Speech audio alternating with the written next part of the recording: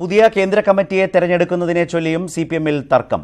നിലവിലുള്ള കേന്ദ്ര കമ്മിറ്റിയിലും പി ബിയിലും കാര്യമായ അഴിച്ചുപണി വേണ്ടെന്ന് കാരാട്ടുപക്ഷം ആവശ്യപ്പെട്ടു. എന്നാൽ സംസ്ഥാനങ്ങളിലെ മാറ്റങ്ങൾക്കനുസരിച്ച് കേന്ദ്ര കമ്മിറ്റിയിലും മാറ്റം വേണമെന്ന് യെച്ചൂരി പക്ഷം ആവശ്യപ്പെട്ടു.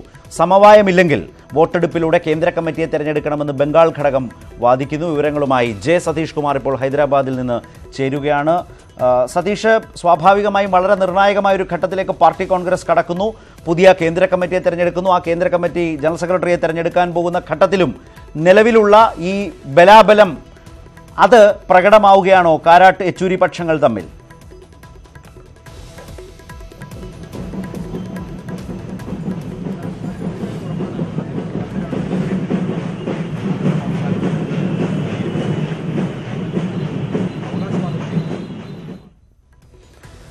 സതീഷിലേക്ക് വേഗം മടങ്ങിപ്പോകാം എന്ന് വിചാരിക്കുകയാണ്. ചില സാങ്കേതിക തടസ്സങ്ങളുണ്ട്. സതീഷ് അവിടെ നിന്ന് വിവരങ്ങൾ നൽകുന്നുണ്ട്. പക്ഷേ കേൾക്കാനാവുന്നില്ല. ഏറ്റവും ശ്രദ്ധേയമായ പുതിയ വിവരമാണ് ഇതിനോടകം തന്നെ സതീഷ് റിപ്പോർട്ട് ചെയ്തു കഴിഞ്ഞത്. പുതിയ കേന്ദ്ര കമ്മിറ്റി രൂപീകരണത്തെ ചൊല്ലിയുള്ള തർക്കം ഇരുപക്ഷങ്ങൾക്കുമിടയിലുണ്ട്. കാര്യമായ അഴിച്ചുപണി വേണ്ട എന്ന് സ്വാഭാവികമായും കാരാട്ടുപക്ഷം ആവശ്യപ്പെടുന്നു.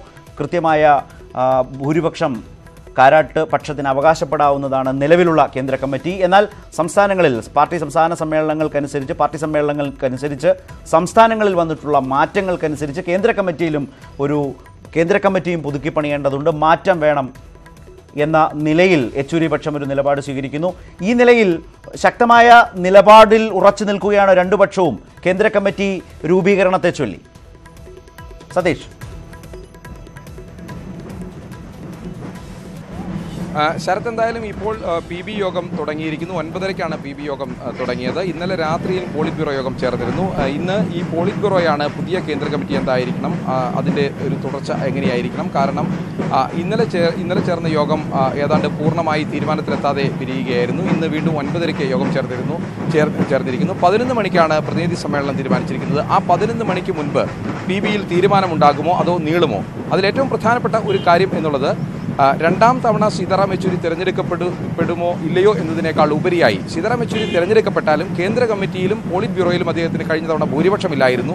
ആ ഭൂരിപക്ഷമില്ലാത്ത ഒരവസ്ഥ ജനറൽ സെക്രട്ടറിക്ക് ഭൂരിപക്ഷമില്ലാത്ത ഒരവസ്ഥ തന്നെയായിരുന്നു പാർട്ടിയിൽ വലിയ പ്രതിസന്ധികൾ തർക്കങ്ങളെല്ലാം ഉണ്ടാക്കിയത് അതുകൊണ്ട് യെച്ചൂരി ശ്രമിക്കുന്നത് സംസ്ഥാനങ്ങളിലെ അതുപോലെ പാർട്ടി കോൺഗ്രസിന്റെ ഒരു പൊതുവികാരം യെച്ചൂരി വിചാരിക്കുന്നത് യെച്ചൂരി പക്ഷത്തിന് അനുകൂലമാണ് എന്ന് വിചാരിക്കുന്നു. അതുകൊണ്ട് തന്നെ അത്തരത്തിലുള്ള ഒരു നീക്കം ആ നീക്കത്തിലൂടെ കൃത്യമായി കേന്ദ്ര കമ്മിറ്റിയിൽ പുതുതായി ആളുകളെ കൊണ്ടുവരിക. ഓരോ സംസ്ഥാനത്തു നിന്നും പുതുതായി ആളുകളെ കൊണ്ടുവരിക. അങ്ങനെ ഒരു വലിയ അഴിച്ചുപണി. അതാണ് ബംഗാൾ നേതാക്കൾ ഉദ്ദേശിക്കുന്നത്. അവർ ആവശ്യപ്പെട്ടതും ഇന്നലെ അതുതന്നെയാണ് എന്തായാലും അതേസമയത്ത് കാരാട്ട് പക്ഷം മുഴുവൻ കൃത്യമായി പറയുന്നത് വലിയ അഴിച്ചുപണികളുടെ ആവശ്യമില്ല. പോളിറ്റ് ബ്യൂറോ ഇതേ രീതിയിൽ തുടരട്ടെ. ഇന്നലെ എസ് രാമചന്ദ്രപിള്ള രാജിവെക്കാൻ തയ്യാറാണ് എന്ന് പോളിറ്റ് ബ്യൂറോയിൽ രാജിവെക്കാനല്ല അദ്ദേഹം ഒഴിയുന്നു. കാരണം എൺപത് വയസ്സ് കഴിഞ്ഞു. ആ എൺപത് വയസ്സ് കഴിഞ്ഞ സാഹചര്യത്തിൽ കേന്ദ്ര കമ്മിറ്റിയിൽ നിന്ന് ഒഴിവാകുന്നു അപ്പോൾ പി വിയിൽ നിന്നും ഒഴിവാകുന്നു എന്നാൽ അതുപോലും വേണ്ട. ഇപ്പോഴത്തെ പി ബി അതേപടിയിൽ തുടരട്ടെ എന്ന ഒരു നിർദ്ദേശമാണ് ഇന്നലെ ഉയർന്നു വന്നത്. എന്തായാലും ഇന്ന് അതെല്ലാം കഴിഞ്ഞ് വീണ്ടും പോളിറ്റ് ബ്യൂറോ ചേരുന്നു. ആ പോളിറ്റ് ബ്യൂറോ ആയിരിക്കും പുതിയ കേന്ദ്ര കമ്മിറ്റി എന്ത് എന്നുള്ള കാര്യത്തിൽ തീരുമാനമെടുക്കുക. സതീഷ് അതായത് ഈ മറ്റ് സംസ്ഥാനങ്ങളിൽ സംസ്ഥാന കമ്മിറ്റികളിൽ വന്നിട്ടുള്ള വലിയ പിന്തുണ അത് കേന്ദ്ര കമ്മിറ്റിയിലേക്ക് എത്തിക്കുക എന്നതാണോ യെച്ചൂരി ആഗ്രഹിക്കുന്നത്? കാരണം കഴിഞ്ഞ തവണ ജനറൽ സെക്രട്ടറി ആയി പക്ഷേ ഭൂരിപക്ഷം കേന്ദ്ര കമ്മിറ്റിയിൽ ഇല്ലാതിരുന്നത് കൊണ്ട് തന്നെ സതീഷ് പറഞ്ഞതുപോലെ ജനറൽ സെക്രട്ടറി ന്യൂനപക്ഷത്തിന്റെ ഭാഗമായി നിൽക്കുന്ന ഒരു അവസ്ഥയുണ്ടായിരുന്നു. ഇപ്പോൾ കേന്ദ്ര കമ്മിറ്റി കൃത്യമായി ഭൂരിപക്ഷം ഉറപ്പാക്കുക എന്ന നിലയിലുള്ള വളരെ ശ്രദ്ധയോടുകൂടിയുള്ള നീക്കമാണോ യെച്ചൂരി പക്ഷം നടത്തുന്നത്? അതിനെ തടയിടുക. നിലവിലെ കമ്മിറ്റിയെ നിലനിർത്തിക്കൊണ്ട് തന്നെ അതിനെ തടയുക എന്ന ശൈലിയാണോ മറുപക്ഷം ആസൂത്രണം ചെയ്യുന്നത്? അത് നിലവിലെ ഈ സംസ്ഥാനങ്ങളിൽ വന്നിട്ടുള്ള മാറ്റങ്ങൾക്കനുസരിച്ച് എങ്ങനെയാവും പ്രതിഫലിക്കുക?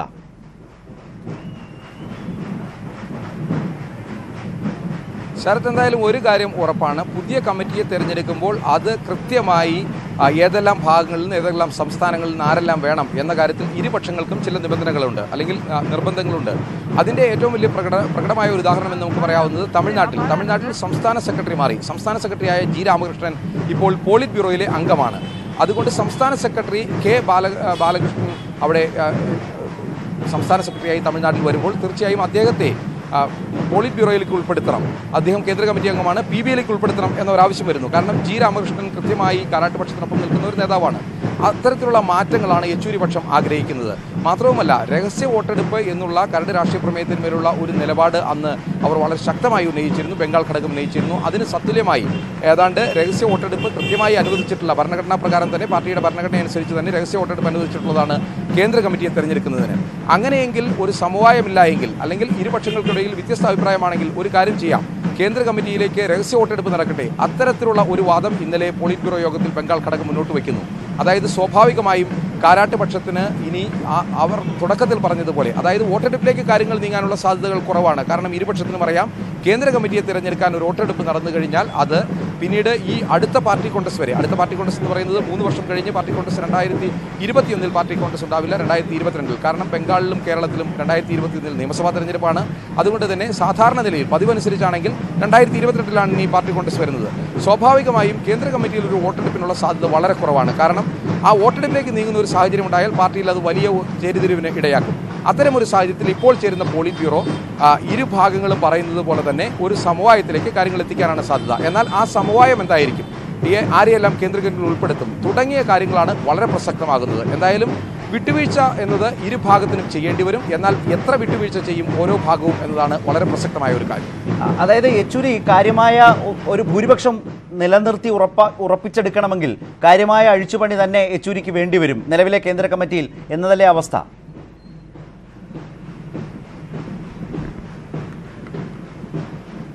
ശരത്ത് എന്തായാലും ഒരു കാര്യം ഉറപ്പാണ്. വോട്ടെടുപ്പിലേക്ക് നീങ്ങിക്കഴിഞ്ഞാൽ എന്ത് സംഭവിക്കും എന്ന് നമുക്ക് പറയാൻ കഴിയില്ല. കാരണം വോട്ടെടുപ്പ് കഴിഞ്ഞാൽ സ്വാഭാവികമായും ഒരു വോട്ടെടുപ്പ് ഉണ്ടായി ഒരു കേന്ദ്ര കമ്മിറ്റി പുതുതായി തിരഞ്ഞെടുക്കപ്പെടുന്ന ഒരു സ്ഥിതിയിലേക്ക് കാര്യങ്ങൾ എത്തിയാൽ പിന്നീട് ജനറൽ സെക്രട്ടറിയെ തീരുമാനിക്കേണ്ടത് പുതിയ കേന്ദ്ര കമ്മിറ്റിയാണ്. അവിടെ സ്വാഭാവികമായും പാർട്ടി കോൺഗ്രസിന് എത്ര ഭൂരിപക്ഷമുണ്ട് എങ്കിൽ പോലും കേന്ദ്ര കമ്മിറ്റിയിൽ ഭൂരിപക്ഷമില്ല എങ്കിൽ ജനറൽ സെക്രട്ടറി സ്ഥാനത്തേക്ക് ഒരാൾക്ക് തിരഞ്ഞെടുക്കപ്പെടുന്നതിന് തടസ്സങ്ങളുണ്ട്. അതായത് യെച്ചൂരിക്ക് പോലും അത്തരത്തിലുള്ള ചില വെല്ലുവിളികൾ നേരിടേണ്ടി വന്നേക്കാം. അത് കൃത്യമായി യെച്ചൂരി പക്ഷത്തിനും പറയാം. അതുകൊണ്ട് തന്നെ ഏത് എത്ര വലിയ തർക്കങ്ങൾ ഉണ്ടായാലും ഇത് എല്ലാം ഒഴിവാക്കി വോട്ടെടുപ്പ് അവസ്ഥ ഒഴിവാക്കുക എന്നുള്ളത് തന്നെയാണ് കൃത്യമായി പി ബിക്ക് മുന്നിലുള്ള ഇപ്പോഴത്തെ ഒരു അജണ്ട. അതിൽ എത്രമാത്രം വിജയിക്കും അതിൽ എത്രമാത്രം കടുംപിടുത്തം ഓരോ ഭാഗവും നടത്തും തുടങ്ങിയ കാര്യങ്ങളാണ് ഇപ്പോൾ പ്രസക്തമായിട്ടുള്ളത്. എന്തായാലും ഇപ്പോൾ പോളിറ്റ് ബ്യൂറോ യോഗം തുടങ്ങിക്കഴിഞ്ഞു. പതിനൊന്ന് മണിക്ക് മുമ്പ് പോളിറ്റ് ബ്യൂറോ യോഗം അവസാനിക്കും. സ്വാഭാവികമായി നോക്കുകയാണെങ്കിൽ സാധാരണ നിലയനുസരിച്ച് പറഞ്ഞാൽ പോളിറ്റ് ബ്യൂറോയിൽ വരേണ്ട മാറ്റങ്ങൾ എന്നത് ഒന്ന് എൺപത് വയസ്സ് കഴിഞ്ഞതുകൊണ്ട് തന്നെ കേന്ദ്ര കമ്മിറ്റിയിൽ നിന്ന് ഒഴിവാകുന്നതോടെ എസ് ആർ പി ബി ബിയിൽ നിന്നും ഒഴിവാകുക. എന്നാൽ അവിടെയും ഒരു പ്രശ്നം ഉദിക്കുന്നുണ്ട്. എൺപത് വയസ്സ് പിന്നിട്ടു ആ എൺപത് വയസ്സ് പിന്നിട്ടവർ കേന്ദ്ര കമ്മിറ്റിയിൽ നിന്ന് ഒഴിവാകണം എന്നുള്ളത് പാർട്ടി ഭരണഘടനയിൽ അത് പറയുന്നില്ല. അതൊരു കീഴ്വഴക്കം മാത്രമാണ്. അതുകൊണ്ട് തന്നെ എസ് ആർ പിയുടെ കാര്യത്തിൽ അദ്ദേഹത്തിന് ആരോഗ്യമുണ്ട്. അദ്ദേഹം കേന്ദ്രതലത്തിൽ പ്രവർത്തിക്കുന്നു. അദ്ദേഹം കേന്ദ്ര കമ്മിറ്റിയിൽ തുടരട്ടെ. പോളിറ്റ് ബ്യൂറോയിലും തുടരട്ടെ എന്ന വാദമുണ്ട്.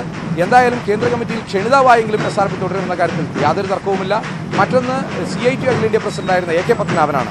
അദ്ദേഹം ഇപ്പോൾ പോളിറ്റ് ബ്യൂറോയിലുണ്ട് അദ്ദേഹം ഇത്തവണ സി ഐ ടിയുടെ അധ്യക്ഷ സ്ഥാനം ഒഴിഞ്ഞതോടുകൂടി അവിടെ നിന്ന് മാറേണ്ടതാണ്. അതിന് പകരം സി ഐ ടിയുവിന്റെ സി ഐ ടിയുവിൽ നിന്ന് തപൻസൺ എത്താനുള്ള ഒരു സാധ്യതയാണ് നിലവിലുള്ളത്. ഇത്തരത്തിലുള്ള ചുരുക്കം ചില മാറ്റങ്ങൾ ആ മാറ്റങ്ങൾ പോലും വേണ്ട എന്നാണ് കാരാട്ട് പക്ഷം പറയുന്നത്. അത് അംഗീകരിക്കാൻ ബംഗാൾ ഘടകം തയ്യാറല്ല എന്നതാണ് വാസ്തവം. എന്തായാലും വളരെ ശക്തമായ നിലപാടുകൾ ഇരുപക്ഷവും ഉറച്ചു നിന്നാൽ ഒരുപക്ഷെ വോട്ടെടുപ്പ് എന്ന് പറയുന്ന ഒരു ഒരു ഘട്ടത്തിലേക്ക് നീങ്ങാം.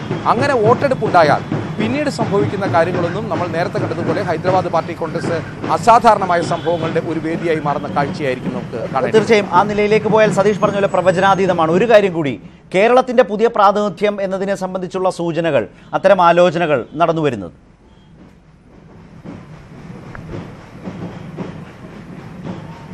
ശരത്തെ തീർച്ചയായും കേരളത്തിന്റെ പ്രാ- ഇപ്പോഴത്തെ സൂചനകൾ അനുസരിച്ച് എന്തായാലും പി കെ ഗുരുദാസൻ അദ്ദേഹം എൺപത് വയസ്സ് പിന്നിട്ടു കേന്ദ്ര കമ്മിറ്റിയിൽ നിന്ന് ഒഴിവാകും. മറ്റൊന്ന് ഇനി രണ്ടാമതൊരാൾ കൂടി കേന്ദ്ര കമ്മിറ്റിയിലേക്ക് വരുമോ? അതായത് പി കെ ഗുരുദാസിന് പകരം എന്തായാലും ഒരു ഒരു രംഗം കേരളത്തിൽ നിന്ന് കേന്ദ്ര കമ്മിറ്റിയിലേക്ക് എത്തും. രണ്ടാമതൊരു കേന്ദ്ര കമ്മിറ്റി അംഗം കൂടി ഉണ്ടാകുമോ എന്ന ഒരു ചോദ്യം ഉയരുന്നുണ്ട്. ഇതിൽ തന്നെ സാധ്യതകൾ കേരളത്തിൽ നിന്നുള്ള സാധ്യതകൾ അത്തരത്തിലുള്ള ചർച്ചകൾ ഇതിനു മുൻപ് ഒരിക്കലും നടന്നിരുന്നില്ല. എങ്കിലും ഒന്ന് ഗോവിന്ദൻ മാസ്റ്റർക്കാണ് ഇത്തരത്തിലുള്ള ഒരു സാധ്യത കൽപ്പിക്കുന്നത്. അതുപോലെ തന്നെ രാധാകൃഷ്ണൻ തൃശ്ശൂർ ജില്ലാ സെക്രട്ടറി കെ രാധാകൃഷ്ണനും ഇത്തരത്തിലുള്ള ഒരു സാധ്യത കൽപ്പിക്കുന്നുണ്ട്.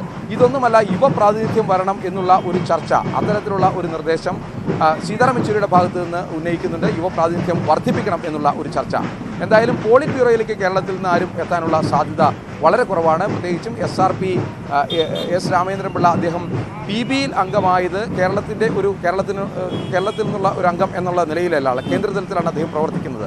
അതുകൊണ്ട് തന്നെ മൂന്ന് പി ബി അംഗങ്ങൾ നിലവിൽ തന്നെ കേരളത്തിലുണ്ട് അതുകൊണ്ട് ബംഗാളിനും കേരളത്തിനും മൂന്ന് വീതം പി ബി അംഗങ്ങളാണ് ഉള്ളത്. അതുകൊണ്ട് കൂടുതൽ പി ബി അംഗങ്ങൾ ഉണ്ടാകില്ല എന്നുള്ളതാണ് ധാരണ. എങ്കിൽ പോലും ഈ ഇപ്പോൾ ഞാൻ നേരത്തെ സൂചിപ്പിച്ചതുപോലെ ഇപ്പോൾ നടക്കുന്ന കാര്യങ്ങൾ അതായത് വിവിധ സംസ്ഥാനങ്ങളിൽ നിന്ന് കൂടുതൽ പേരെ ഉൾപ്പെടുത്തണം എന്ന് സീതാറാം യെച്ചൂരി പറയുകയാണെങ്കിൽ കൃത്യമായി കേരളമാണ് ഏറ്റവും വലിയ ഘടകം.